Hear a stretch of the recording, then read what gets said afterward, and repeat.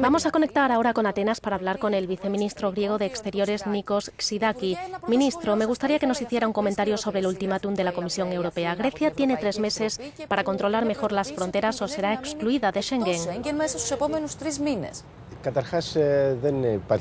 Esa opción no existe desde el punto de vista legal según el acuerdo de Schengen. Esta evaluación de la Comisión se hizo sobre el 10-12 de noviembre. La situación en las dos islas en cuestión no es la misma hoy. Es completamente distinta y va a ser todavía más diferente dentro de dos semanas.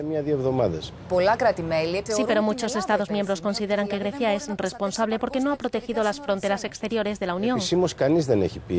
Oficialmente nadie lo ha dicho, ningún gobierno en ninguna institución europea y nosotros oficialmente respondemos que es la única frontera marítima que se encuentra a seis millas de distancia de otro Estado. Esa es la frontera entre Grecia y Turquía. Lo que Grecia está haciendo es proteger las fronteras junto con Frontex y no podemos saltarnos los tratados internacionales ni los principios morales para empujar un barco cargado de refugiados, hacer que retroceda y permitir que se ahoguen estas personas. Cuando nos dicen que no protegemos suficientemente las fronteras, nos tienen que explicar más detenidamente qué es lo que no está bien y lo que debemos hacer, pero no nos especifican nada.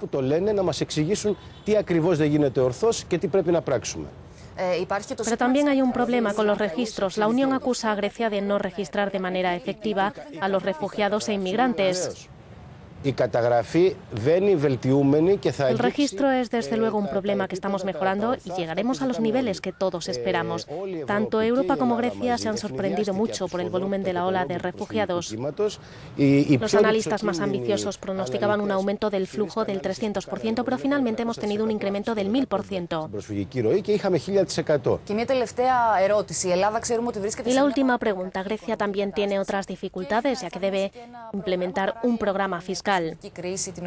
¿Estarán estos dos temas encima de la mesa al mismo nivel? Quiero decir que si usted daría a la Unión Europea lo que pide a cambio de obtener mejores condiciones para la deuda o el programa.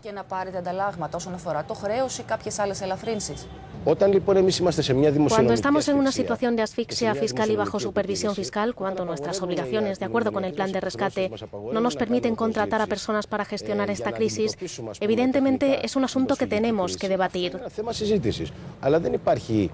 Pero no hay ninguna posibilidad de que Grecia se convierta en un almacén de personas para que se trate mejor la cuestión de la deuda. Eso sería inmoral y no creo que ninguna institución europea lo haya pensado hasta ahora.